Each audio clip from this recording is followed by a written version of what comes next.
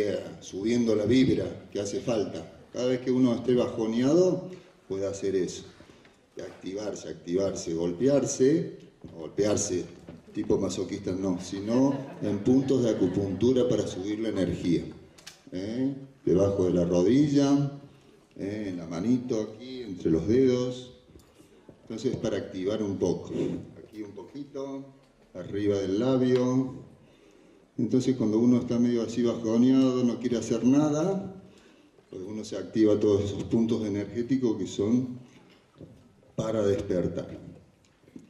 Bueno, también tenemos ese otro despertar, el despertar de la conciencia.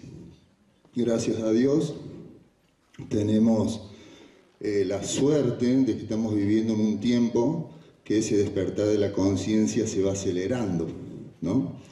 No hubo muchos cambios de conciencia eh, del 1900 hacia atrás, pero en estos últimos 50 años hay un gran despertar de la conciencia de la humanidad.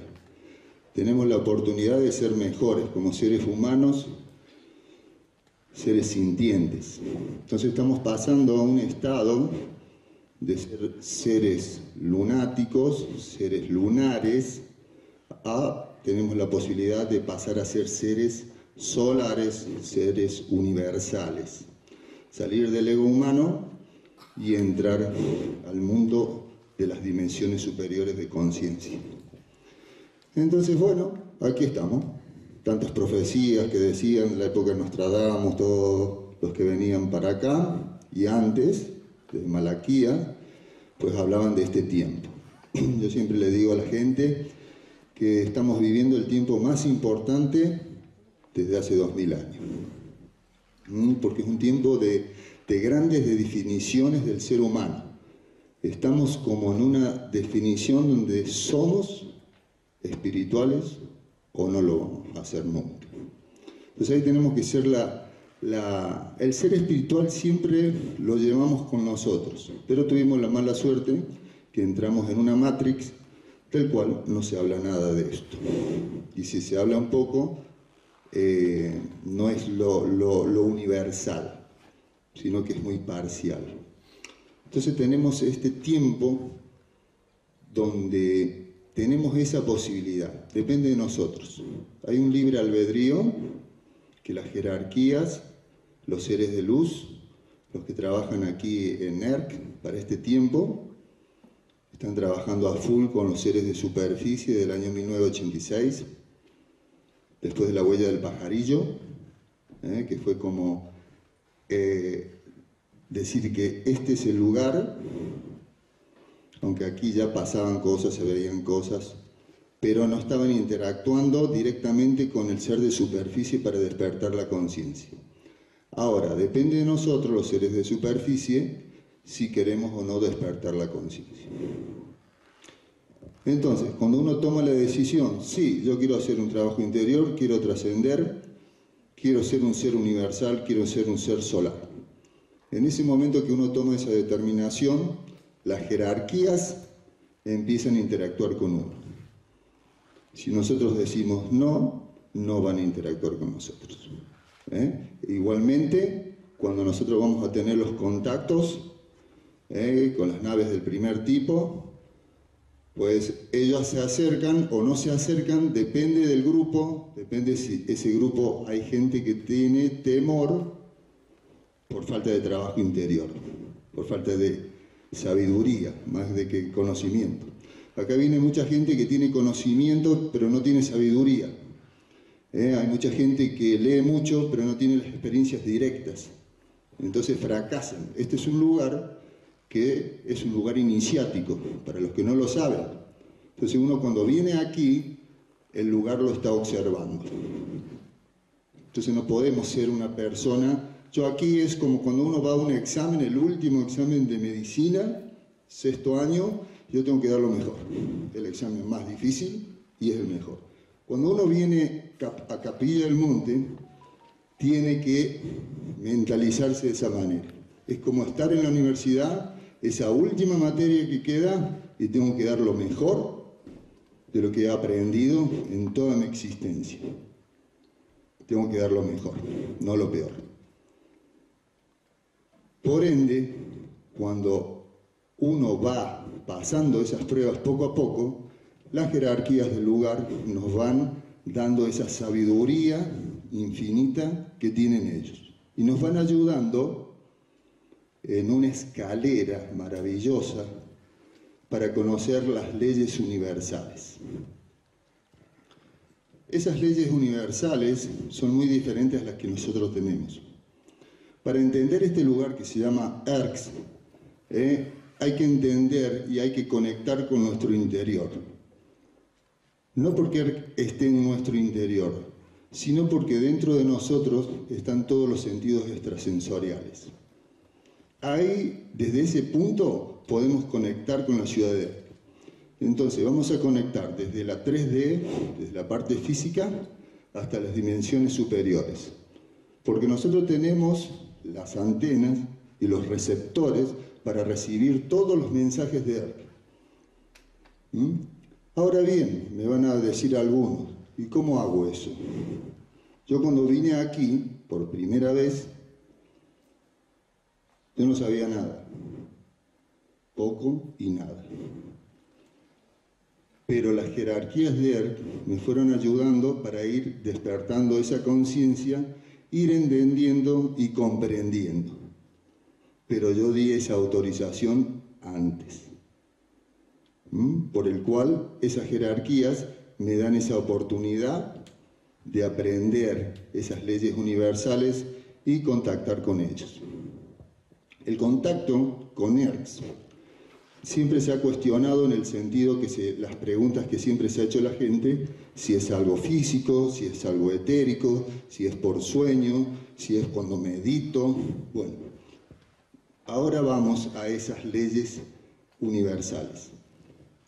El universo se manifiesta de una manera multidimensional. Los seres que nos visitan de, de millones de años de luz aquí, seres del tiempo, seres de ERC, ellos conocen la multidimensionalidad y trabajan con la multidimensionalidad. Nosotros no. A nosotros nos esclavizaron en la 3D. Pero mentalmente nos esclavizaron. Entonces nosotros tenemos que cambiar y por eso, gracias a Dios, todas las técnicas orientales, milenarias, cuando esta humanidad fue la que empezó de una manera a conectar poco a poco con esa magia interior. La Matrix siempre insiste en que nunca aprendamos nada interior, siempre todo exterior, conocimiento y datos, todo para el hemisferio izquierdo del cerebro. ERC se va a encargar, cuando uno toma la decisión, y yo quiero seguir aprendiendo más, va a tener la, toma la decisión de despertarnos el hemisferio derecho del cerebro. Ahí están muchos de los sentidos extrasensoriales, por el cual yo puedo conectar con las jerarquías, puedo conectar con las naves y tener una intuición diferente. Entonces, todo depende de nosotros, hasta dónde queremos llegar. Si yo quiero solamente tener conocimiento, eso tendré. Si yo quiero conocer algo más, voy a conseguir algo más. Si me da miedo, se, termina la experiencia. ¿Eh? Entonces acuérdense, es un lugar iniciático. Mientras más pruebas pase, mejor. Se dice, ¿eh? los templos, ¿cuántos templos iniciáticos hemos tenido a lo largo de la vieja humanidad, sobre todo en Egipto, escuelas iniciáticas? ERC es una escuela iniciática, está para el despertar de la conciencia.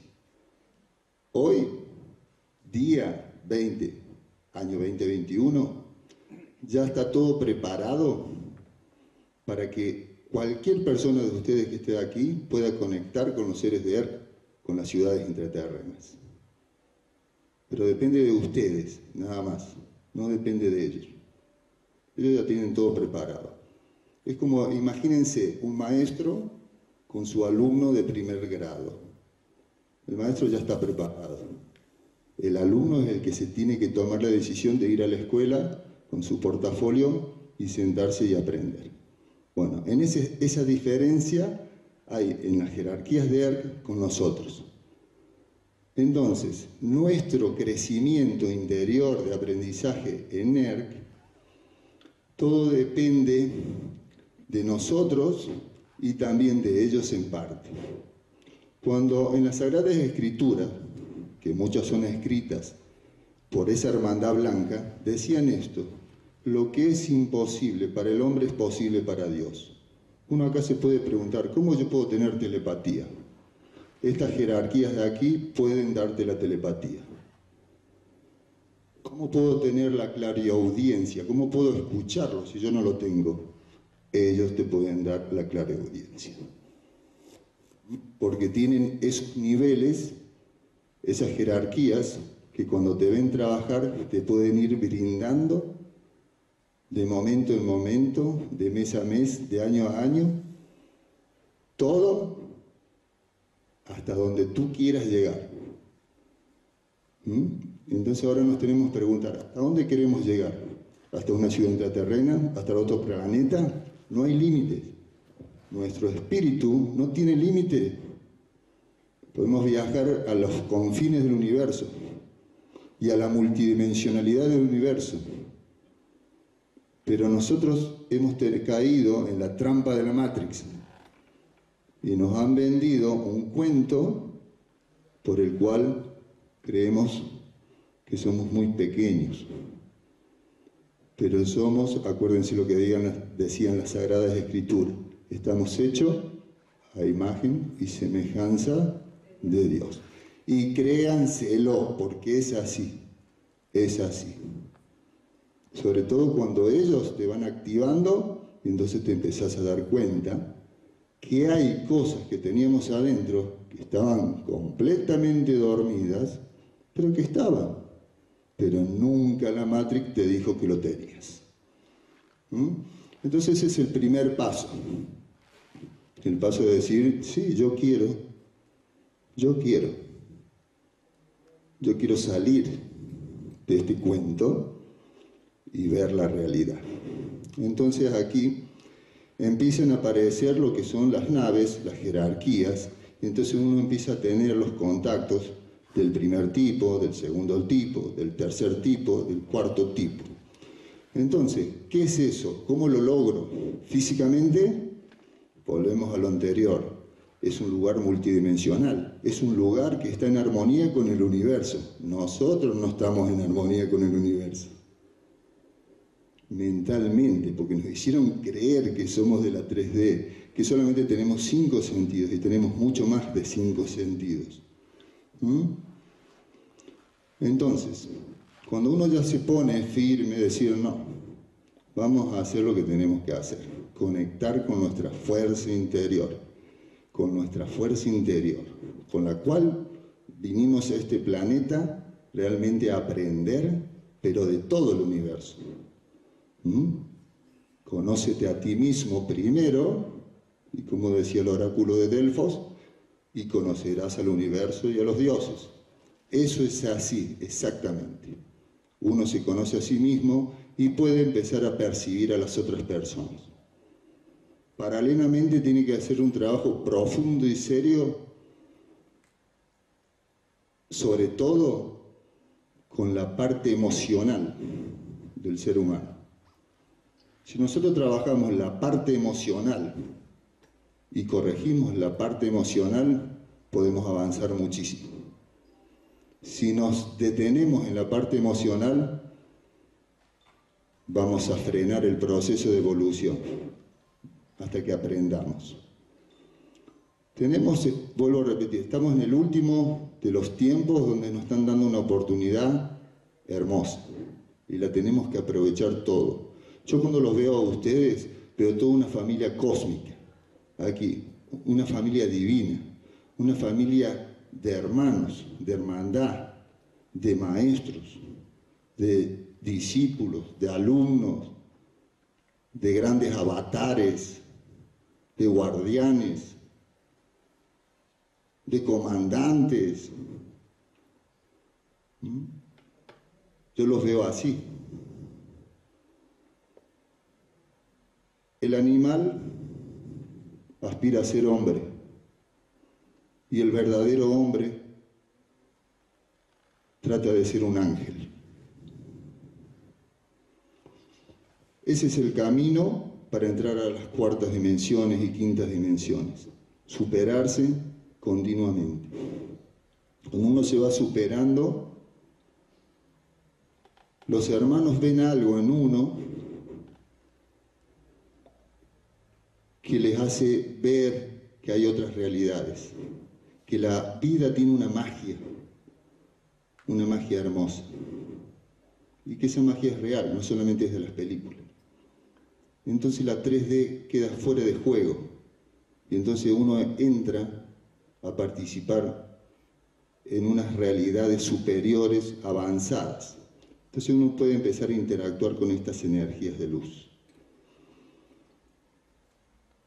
Muchas experiencias hemos tenido aquí, muchos de los presentes, compañeros, amigos, que hemos tenido unas experiencias maravillosas, como Ezequiel, Alejandro, Mariné. Algunos han visto la ciudad de Erx, otros hemos sido parte, otros hemos estado en contacto con los seres, físicos, otros con seres energéticos. ¿Mm? Pero siempre hay un mensaje. El mensaje de ellos es para ayudarnos a que nosotros tenemos que desapegarnos de las formas, desapegarnos de todo lo que llevamos encima de bronca, odio, dolor, resentimiento, que es lo que provoca la 3D, la 3D trata de tenernos enfermos, porque necesita gente enferma, gente que no tenga educación, gente que no tenga conciencia. Entonces nosotros tenemos que hacer un súper esfuerzo para salir de ese remolino que nos está hundiendo, para aspirar a algo mejor. Y a veces el remolino es muy fuerte, pero les puedo asegurar que ahí están las jerarquías para sacarnos de eso y ponernos en la orilla. Si nosotros queremos. Porque hay gente que le encanta estar en el remolino y hundirse y así llamar la atención y quitarle la energía a otras personas que le salven. ¿Mm? Acuérdense, los grandes maestros de luz siempre hablaban, esto es una ilusión. Y uno dice, ¿cómo una ilusión? Es una ilusión. Nosotros tenemos que despertar de la conciencia aquí y ahora, en este momento. No hay que esperar más. No tenemos que hacernos más el cuento, sino esta es una realidad. Pronto, ya este año pasado, ya empezaron a abrir todos los expedientes X los norteamericanos, cosa que nunca lo hicieron, y ahora curiosamente este año lo empezaron a hacer, el año pasado. ¿Mm? Por algo es, ¿eh? porque algo se viene pero también aprovechan para la confusión y seguir confundiendo a la gente. Por eso es nuestro deber, nuestro deber como ser humano, como ser de luz, hacernos responsables de nosotros mismos y ser unos buenos representantes de esa luz divina que llevamos dentro. Estos seres de luz que están en ERC, este lugar de protección que hay aquí, este lugar que para los tiempos que vienen fuertes va a ser un lugar de protección. Pues ellos están observándonos a cada uno de nosotros. Este evento no lo hago yo, no lo hace Mariné, lo hacen los hermanos de Erx. Ellos organizan todo. Nosotros somos, como decía don Ángel Cristo Acoblanes, somos meros administradores del mensaje de ellos, nada más. Pero sí podemos ser unos buenos discípulos para, para luego ser maestros y para luego enseñar a otros y a otros y llegar a tener una comunidad, una humanidad superior y merecernos realmente entrar a una confederación galáctica de planetas que existe pero que está esperando que nosotros despertemos, porque respetan el libre albedrío. La Matrix no respeta el libre albedrío. Las jerarquías sí respetan el libre albedrío. Por eso el gran maestro Jesús llamaba a la humanidad raza de víboras, ¿cierto? ¿A quién se refería? A los que gobernaban. ¿Cómo se dice ahora en el ambiente nuestro? Los reptilianos. Es lo mismo, con distintas palabras. Nosotros somos ángeles de luz. Esa es la diferencia. Entonces tenemos que aprovechar que este tiempo es el tiempo de la luz. Por eso vamos a ganar. Y siempre la luz es superior a la oscuridad. Siempre. No se olviden de eso. Pase lo que pase. Hagan lo que hagan. Siempre la luz va a priorizar. Y es la que crea, no la que destruye. Es la que une y no la que divide. Así que les voy a dejar unas imágenes eh, de algunos videos que hemos eh, hecho aquí y eh, con eso vamos a ir terminando. Bueno, les voy a mostrar, ahora que lo veo Alejandro, un día fuimos con, el, con la cena ufológica, con un grupo lindo, nos fuimos a Cruz del Eje, a contactar con Gabriel Gómez. Gabriel Gómez fue, si que se acuerdan, eh, la noche de la huella del pajarillo, la noche del 9 de enero de 1986, bueno, estuvo presente y observando una gran nave arriba de la casa de su abuela. Nosotros lo entrevistamos en aquel entonces con un grupo muy lindo, entre ellos Alejandro Prat, que hoy está presente. Y Hablamos con él, nos atendió muy amablemente y la verdad que fue muy especial ese momento. Pero en un momento dado yo recibo que le tengo que mostrar un fotograma de un video que yo había grabado, justamente también de una salida de estos cafés ufológicos, de estas cenas ufológicas, hacia la zona del Cerro Pajarillo. Y cuando íbamos allá con 15 personas a meditar, nos encontramos con un ovni que estaba a mediana altura y lo empezamos a filmar.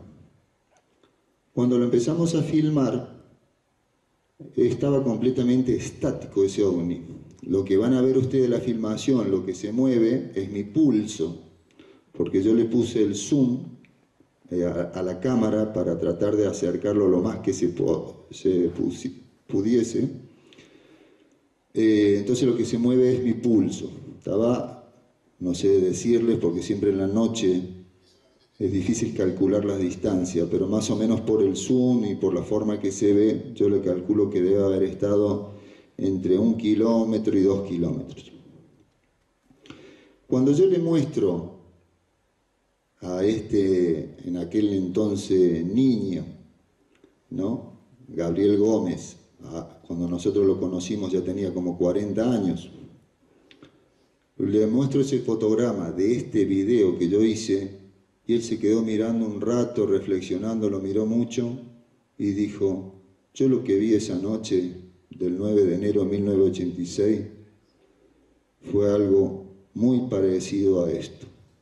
Entonces ustedes van a ver lo que podría ser la misma nave o una nave muy similar que eh, se vio esa noche en la casa de los Gómez.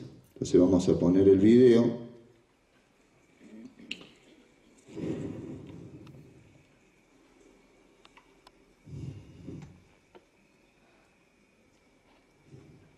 Esto lo filmamos el 15 de febrero del 2014.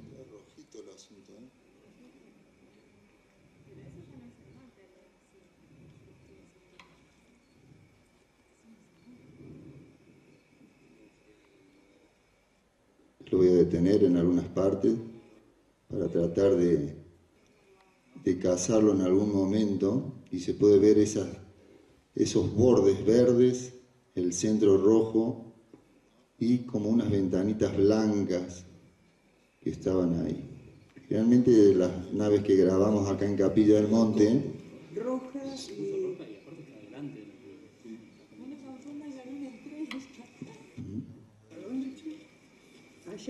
Esto que ustedes están viendo no es fácil grabarlo. Porque no siempre sucede. Y como sucede cada tanto, ese cada tanto a veces simplemente queda como en una evidencia visual. Pero en este caso se pudo videograbar. ¿Mm? Ahí está un poco más de zoom. Miren lo que era. ¿Mm? Era muy, muy curioso.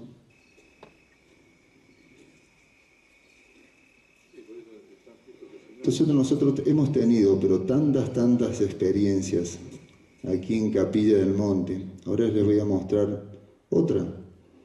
Eh, esto lo graba un turista. Lo voy a adelantar un poquito para que tengan alguna referencia. Que estábamos en Puerta del Cielo mantralizando con un grupo. Iba pasando muy suavemente esta nave, muy tarde, una noche de verano. No era de día, era de noche el turista que fue ese día de paseo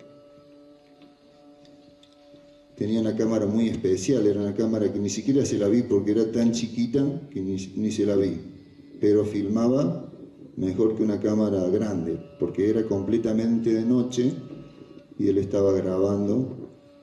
Fíjense la, la calidad que tenía, ahí va la nave. Sí, sí.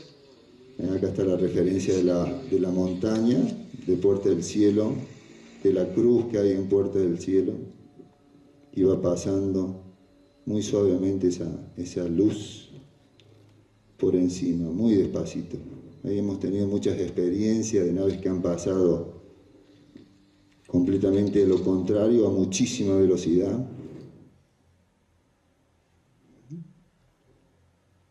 Les quiero mostrar unas de las de las formas que ellos tienen de expresarse, que es a través de las radiaciones. Yo les llamo que nos irradian, primero pensé que era un saludo, después no, nos están irradiando, y después supe que nos irradiaban amor, por el cual muchas veces cuando yo salgo con los grupos, siempre le pido a estas naves, a estas luces, que nos envíen luz, amor y conciencia. ¿Qué es lo que necesitamos para el despertar de la conciencia? Luz, amor y conciencia. Seres solares, las naves se manifiestan de una forma solar, ¿eh? se ponen como un sol irradiando a los grupos.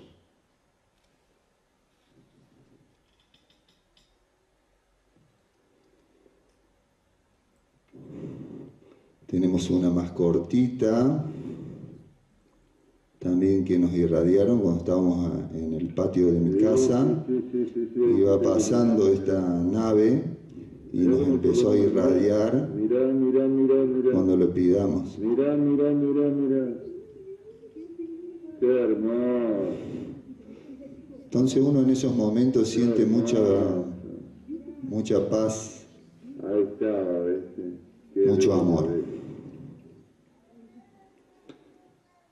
En, el, en la posta del silencio hemos tenido, aquí que está Ezequiel, hemos tenido una experiencia muy hermosa también, con algo parecido a lo que nos sucedió también en la zona de, Puertas del Cielo. Pero en esa oportunidad nos pasó en Puertas del Cielo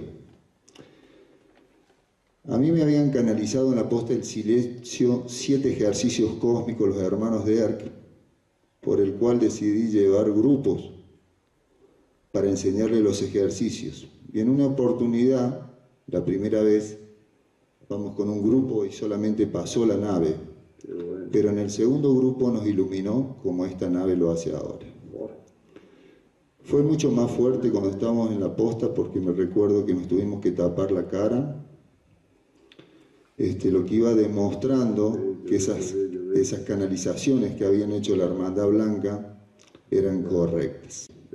Los que escucharon a Adrián Arquiola, el astrónomo, esta mañana, les dijo que a las 11, a las 11 de la noche ya se terminaban los satélites, ¿eh? por ese cono de sombra que hace la Tierra y ya no se pueden ver. Esto era verano, y ocurrió a la una y media de la mañana. O sea que era una supernave que iba pasando y radió a todo el grupo que estábamos en Puerta del Cielo. Los ejercicios cósmicos de ERC son ocho por el momento, siete fueron canalizados en la zona de la poste del silencio, que en resumidas son para la conexión. El primer ejercicio está relacionado con la Confederación Galáctica de Planetas. Los tres encuentros que tuvimos con esos tres primeros grupos siempre sucedía en ese primer ejercicio. Siempre la nave pasaba cuando estábamos hablando de la Confederación Galáctica de Planetas y sus naves y sus seres. El segundo ejercicio está relacionado que tenemos que conectar y no olvidarnos nunca de lo que es la madre, el alma de la madre tierra y el agradecimiento que tenemos que tener ante ella de todo el alimento que nos ha dado de niño hasta este momento. Con el Padre Cielo, la parte espiritual, ese Padre que nos da la energía espiritual, esa fuerza espiritual, esa ánima para vivir en esta tierra y hacer lo que tenemos que hacer, que es nuestra evolución espiritual, seguir creciendo y seguir amando. El tercer ejercicio estaba relacionado con lo que es la glándula pineal y el tercer ojo. Es para ver más allá de las formas, es para empezar a ver las energías y sentir. El cuarto ejercicio estaba relacionado con el yin y yang, estaba relacionado con un símbolo que es el infinito. Entonces se hacen ejercicios ahí para armonizar desde lo que son las células del cuerpo hasta las células mentales. Luego tenemos el quinto ejercicio que está muy relacionado con la ciudad de Er, la hermandad de Er y los hermanos del cosmos, ¿eh? que están unidos, cumpliendo y hermanados para el despertar de la conciencia de los humanos de superficie en este tiempo. El sexto ejercicio está relacionado con el amor incondicional el amor que irradia ERC a todos los lugares, convocando a la gente para que venga a este lugar. Y el séptimo ejercicio está relacionado con todas las energías eh, que tenemos nosotros eh, sutiles, como por ejemplo los chakras, y el trabajo con el sol, con la energía solar. Y el octavo ejercicio es, está relacionado con una canalización que me hacen nada menos en los terrones, donde vamos a ir esta noche, donde ahí se trabaja el desapego. Ahí tenemos que quitar todo lo viejo, pero todo lo viejo que llevamos dentro cargando de generación en generación, de vidas pasadas, familiares, eliminar todo tipo de apego a dolores, frustraciones, egos, y quedar completamente libres. O sea, que quede nuestra alma brillante. De esa manera recordamos lo que decía ese mensajero que vino a la tierra, que decía, hasta que no seáis como niño, no entraré al reino de los cielos. Erk es un reino ¿eh? aquí en la tierra, hay muchos reinos celestiales. Erk es uno de ellos. Entonces, de esa manera nosotros nos vamos a ir perdonando y perdonando a otros. Y ese es nuestro deber, perdonar y amar, perdonarnos y amarnos. Y con eso vamos a terminar la conferencia y yo le doy muchísimas gracias a todos los presentes por estar aquí hoy en día porque no somos uno, no somos dos, somos un montón. Y eso me alegra cada día, porque cada granito de arena que han puesto todos estos precursores, investigadores, que han trabajado de corazón para ayudar a la humanidad, todo eso nosotros hemos ido recibiendo. Por eso las grandes sagradas escrituras decían eso, el que tenga oídos para oír, el que tenga ojos para ver. Muchas gracias por haber venido.